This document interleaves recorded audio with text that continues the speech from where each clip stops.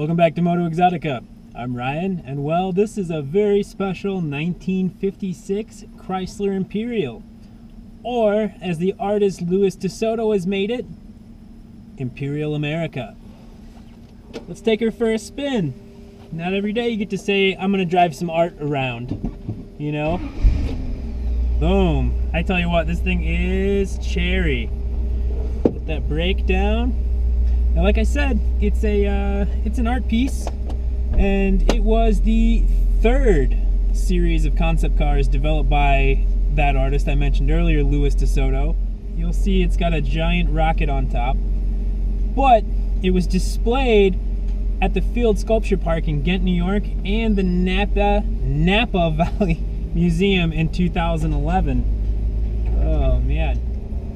Now, a lot of stupid artists will tell you that you can't drive art. Well, they obviously drive Priuses and probably suck at everything else. So, that being said, it's art that you can drive. So it's got a 354 cubic inch Hemi V8 with push button TorqueFlite 3 speed automatic transmission. And that's pretty cool. I'll show it to you here in a second. It's right down here. You just select a gear and do whatever you want, man. It's crazy. that guy just looked at me like that's crazy.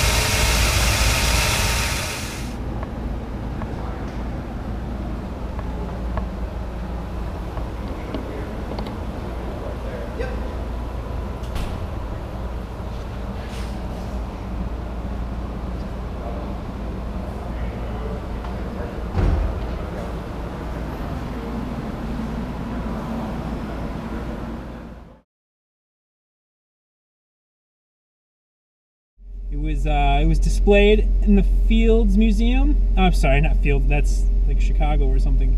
Uh, let's see. As I said, it was displayed at the Field Sculpture Park in Ghent, New York, and the nappy, the nappy, nappy, nappy-headed. Let's do that again. As I said, it was displayed at the Field Sculpture Park in Ghent, New York, and the Nappy Val Nappy. I keep saying that. Fuck. Uh,